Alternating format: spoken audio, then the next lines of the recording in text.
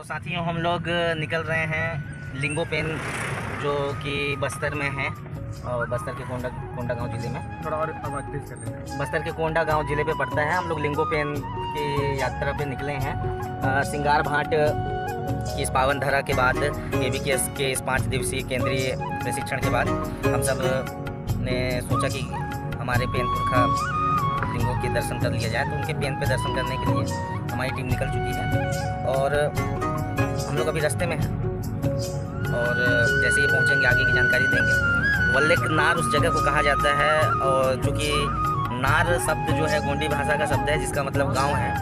और हमने सुना है कि वल्लेक नार का जो गोटुल है, जो वर्तमान में जीवंत गोटुल है। और इस रीजन का बस्तर रीजन के सबसे अच्छे गोटुलों में से एक है। वहाँ गोटुलों के नियम जो है, लागू होते हैं वहाँ पे। और तो हम, हमारे साथी जो हैं वो, उन्होंने कहा कि भाई बस्तर भूमि में हम आए हैं तो क्यों ना लिंगो पेन के दर्शन कर लिया जाए। और चूँकि इसलिए भी दर्शन करना ज़रूरी है कि लिंगो का जो करसाड़ होता है, लिंगो का जब खेल होता है, जब वो अपने रिश्तेदारों से मिलते हैं तो वो काफ़ी समय बाद वो करसाड़ होता है। जो पहले के समय पे वो करसाड़ बारह साल में एक बार होता था, धीरे से फिर वो आठ साल में हुआ। अभी जो पिछले साल जो करसाड़ हुआ है वो चार साल में एक बार हुआ है। तो ये करसाड़ जो है काफ़ी समय बाद हो, होता है। लोग ज़्यादातर करसाड़ के समय लोग रास्ते पे हैं अभी।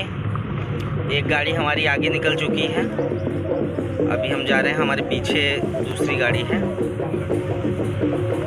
और हम लोग बहुत सारी चीज़ों पे ऑब्ज़र्व कर रहे हैं। कि हमारे क्षेत्र से यहाँ के गाँव की घर की बनावट कैसा है? खपरों के साइज़ और डिज़ाइन कैसे अलग हैं? क्योंकि हम लोग के जो खप्पर हैं, वहाँ के थोड़े चौड़े हैं। पर यहाँ के यहाँ के जो खप्पर आप देख रहे हैं कि छोटे हैं और उनका जो मुड़ाव है, वो अलग तरीके का है। हालाँकि खप्पर एक जैसे ही होते हैं, पर तरीका और बनावट का जो डिज़ाइन है, वो दूसरे तरीके का आप देख सकते हैं। अभी हम लोग इच्छापुर पे हैं। इच्छापुर के बाद मलाज खंड जो जलप्रपात है, वहाँ के लिए हम लोग निकलेंगे। वहाँ से होते हुए हम लोग आमा बेड़ा पहुँचेंगे और आमा बेड़ा से लगभग आठ किलोमीटर की दूरी पे जो है वो वल्ले किनार है।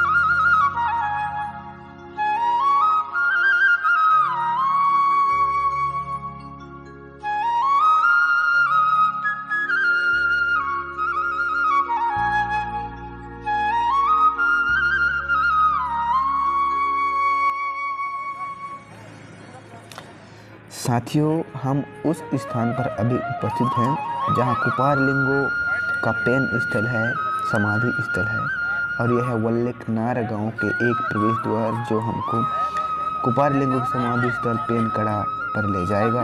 तो हमारे साथीगढ़ हम लोग के भी केस में प्रशिक्षण लिए आए थे। और ये हमारे सभी साथीगण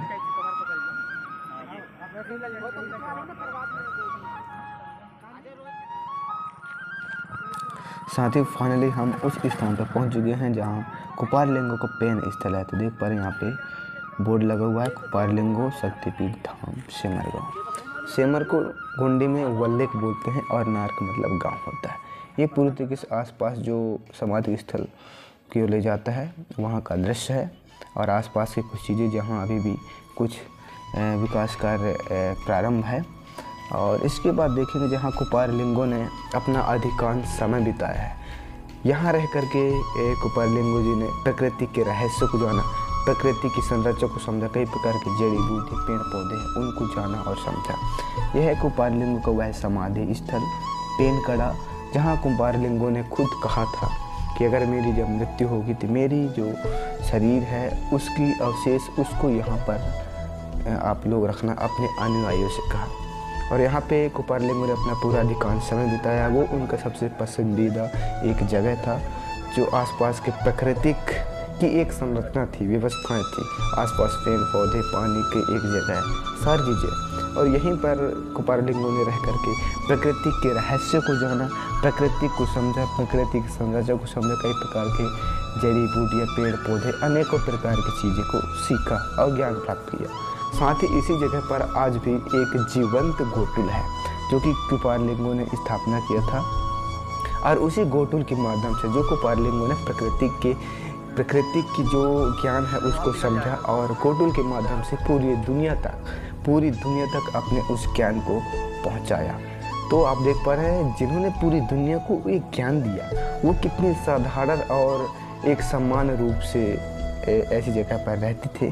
सो आप देख पा रहे हैं, यहाँ पे लिखा है, पेन राउल कुपा लेंगो पेन कड़ा यानी कि वल्लेकनार यानी कि ये सेमर गाँव है। गोंडे में आप जानते हैं, सेमर को वल्लेक बोलते हैं और नार मतलब गाँव। तो हमारे साथीगढ़ जो के वी केस में हम लोग एक केंद्रीय प्रशिक्षण था दो हज़ार तेईस की के वी केस प्रशिक्षण वहाँ हम गए हुए थे और हमारे साथीगढ़ कुछ जो कुपारलिंगों के पेन स्थल को देखते हुए और उनकी जो चीज़ें हैं उनको समझते हुए। सो देख पा रहे हैं यहाँ पे विभिन्न प्रकार के वादक यंत्र हैं, कई प्रकार की यहाँ पे वो चीज़ें बनी हुई है। सो ये जो पॉइंट दिख रहा है आपको, ये है कुपारलिंगों का एक पेन स्थल।